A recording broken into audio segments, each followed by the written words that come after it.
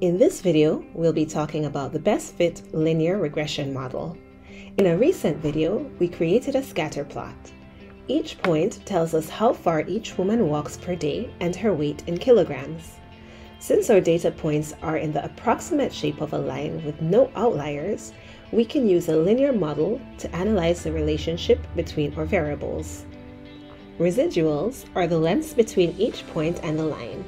The points below our line have a negative residual, and the points above the line have a positive residual. If our line is the best fit, the sum of our residuals will be equal to zero, as the positive and negative residuals will cancel each other out. But how do we determine where to place our line to ensure that it is the best fit for our data? Let's start by recalling that the equation of a line is y equals ax plus b. There are multiple ways to determine the values in this equation, a few of which are linked below. Let's say we use the TI-84 to determine the equation of the line and get this display. Let's talk about what that means. Look at the label on the y-axis of the scatter plot. In this study, y represents the weights of women. Now, look at the label on the x-axis. In this study, x represents the miles walked per day. A is the slope of our line. Slope tells us the difference in y per x.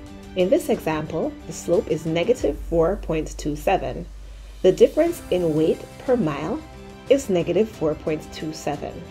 In other words, for every additional mile the women in our study walk per day, their weight is 4.27 kilograms less. B is the y-intercept. The y-intercept is y, or in this case weight, when x, or in this case miles walked per day, is zero. According to our model, a woman who walks no miles weighs 90.8 kilograms. However, since all of the women in our study walk between 1 and 6 miles, it is not reliable to make a prediction outside of this range. Let's take a look at how to use our model to make predictions. Our equation tells us that weight is equal to negative 4.27 multiplied by the number of miles plus 90.83. We put a little hat on the weight to signify that it is not the actual weight, but a predicted value that we can get from utilizing our model.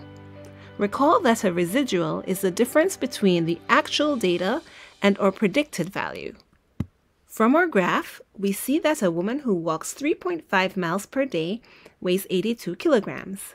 If we had to predict the weight of another woman who walks 3.5 miles, we would use our best fit equation. Weight equals negative 4.27 times 3.5 plus 90.83. Weight is equal to 75.89 kilograms. But we know that a woman who walks 3.5 miles in our study weighs 82 kilograms.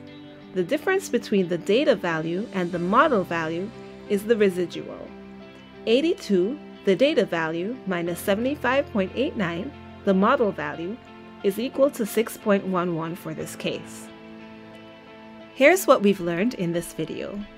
A best fit regression line can be drawn if a scatter plot indicates that there is a strong correlation. A residual is the distance between each data point and the linear model. All residuals in a dataset should have a sum of zero if the line is a best fit line. The best fit regression equation can be found using a statistics calculator or spreadsheet. Slope tells us the change in y per x. The best fit model can be used to make predictions within the range of given data.